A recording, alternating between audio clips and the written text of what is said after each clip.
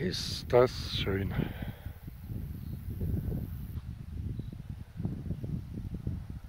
Eine richtig angenehme Ruhe. Und es riecht auch nach diesem schon trocken gewordenen Getreide.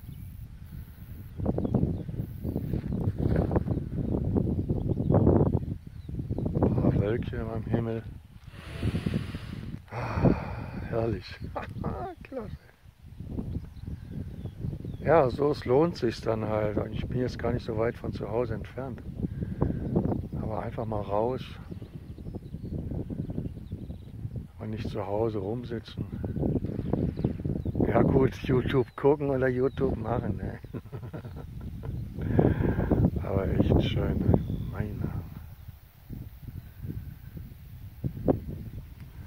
Ich habe auch jetzt diesen Stuhl dabei. Ein bisschen weiter an einer anderen Strecke packe ich den mal aus.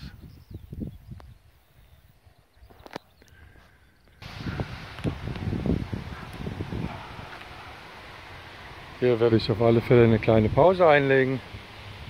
Bei mir kommt es nicht darauf an, Strecke zu fahren, sondern die Gegend zu erfahren. Einfach zu sehen, wie ist das. Hier hat es jetzt richtig ein bisschen mehr Wind. Krähen sind irgendwo in der Luft. Und sowas ist dann einfach halt immer wieder schön zu erleben halt. Ne?